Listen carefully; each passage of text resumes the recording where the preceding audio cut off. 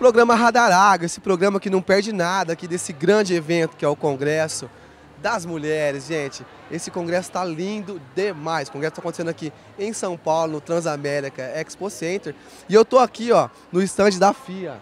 A FIA que é muito engajada, não só no agronegócio, mas também aqui no universo feminino pro agronegócio. Eu tô aqui falando com a Camila Mourad, que é coordenadora da Academia liderança para mulheres do agronegócio. Gente, a Academia de Liderança para Mulheres no Agro é um projeto que tem um viés de desenvolvimento, de conhecimento, de aprendizado muito bacana.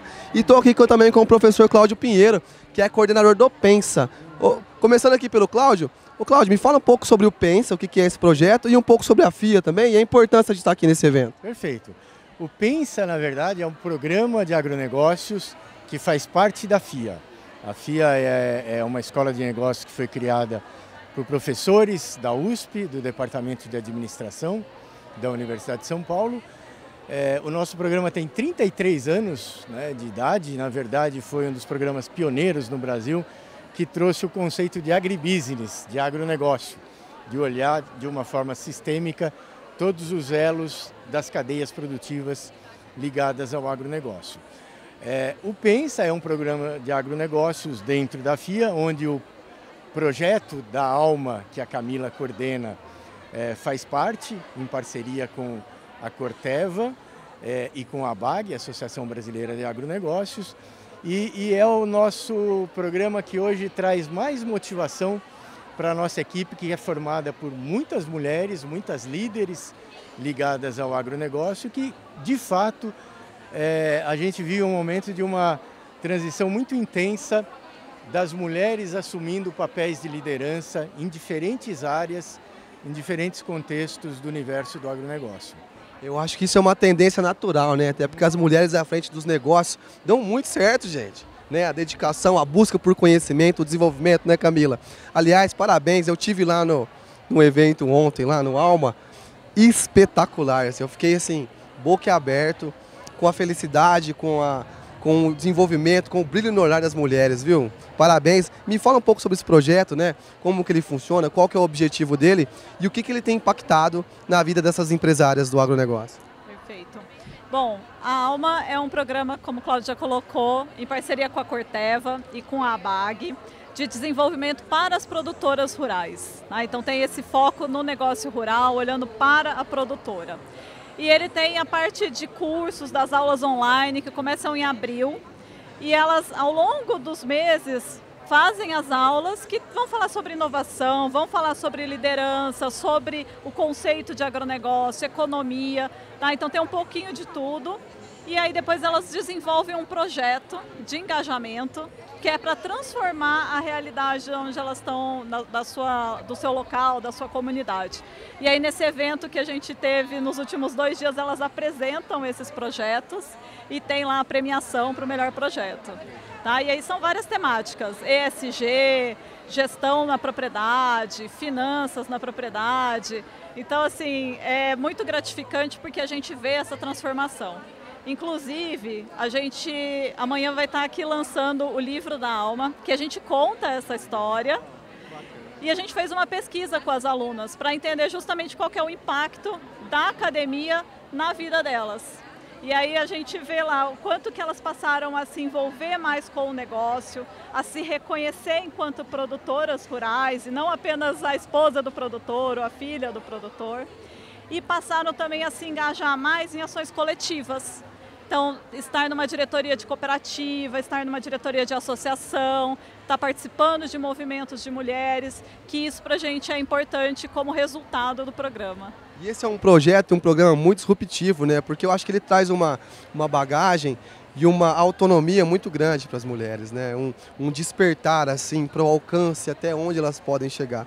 E também, sem dúvida nenhuma, é uma, é uma, uma lição né, um aprendizado além do conhecimento técnico. Lógico, conhecimento técnico é importantíssimo, né, o desenvolvimento, mas é uma coisa muito além disso, né, Camila? Sem dúvida. Acho que tem a parte de conhecimento técnico. Eu falo assim, elas vêm pelo conhecimento técnico, mas ao longo do programa elas vão descobrindo que elas podem se desenvolver em termos de comunicação, de networking, de relacionamento e tem todo um despertar ao longo do, do projeto.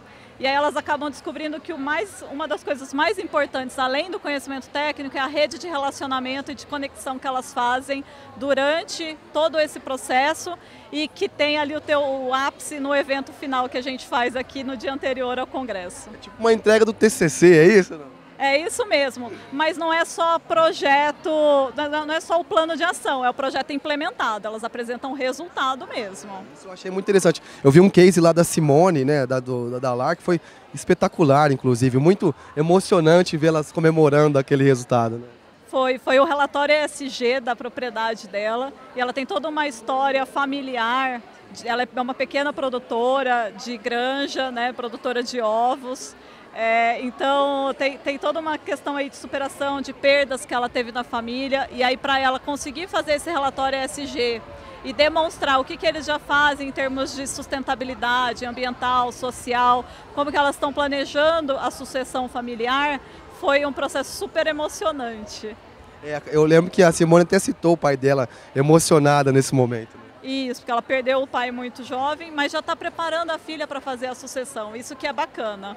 Isso é muito legal. E, e, e, Cláudio, essa troca, essa comunhão, não só falando do, do, projeto Alma, mas essa comunhão que essa base que a FIA traz, é muito importante para o desenvolvimento do agronegócio, né? Não só essa questão da aplicação do conhecimento, mas essa comunhão e troca de experiência, né? Sim.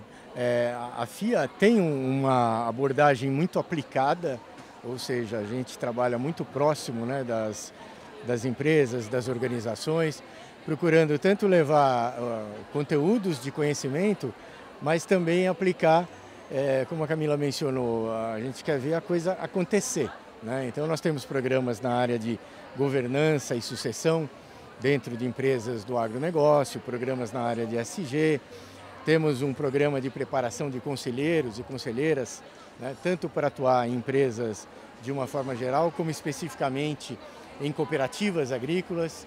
Né? Então a gente procura customizar as nossas ações para aquelas necessidades específicas que vão ser efetivamente implementadas, ou seja, transformativas para a realidade daquelas organizações com as quais a gente trabalha.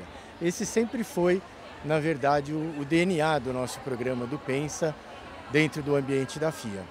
É isso aí, pessoal. A FIA que é especializada, né, uma escola especializada em business e tem uma, um viés muito grande dentro do agronegócio, despontando aí, né, com inovação, com inteligência e é muito legal para nós aqui do programa Radar Agro poder partilhar um pouco disso com vocês, viu pessoal? Eu falei aqui com o Cláudio Pinheiro, que é o coordenador aqui do Pensa. Obrigado, viu Cláudio? Obrigado, eu que agradeço. E falei também com a Camila, que é ela que lidera o projeto Alma, lá tá à frente de tudo. Obrigado, viu? E parabéns de novo pelo projeto. Obrigada e um abraço aí para nossa audiência. É isso aí, pessoal. Nossa cobertura não para por aqui.